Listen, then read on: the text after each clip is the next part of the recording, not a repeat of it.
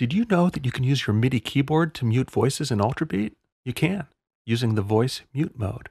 Usually I use my keyboard to play notes or to enter data.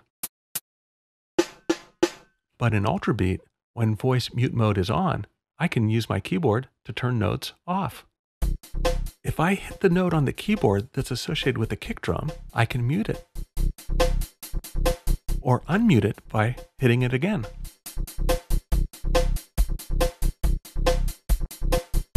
I can do the same thing with the hi-hat.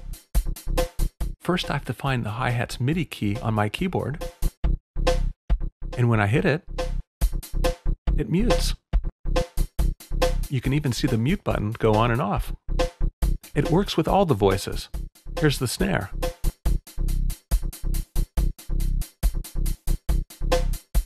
Now, you don't have to do it one at a time.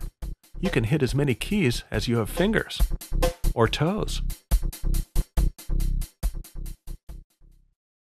So in voice mute mode, you can use your MIDI keyboard to mute Ultrabeat's voices in real time. I think I'll mute my voice now. See ya.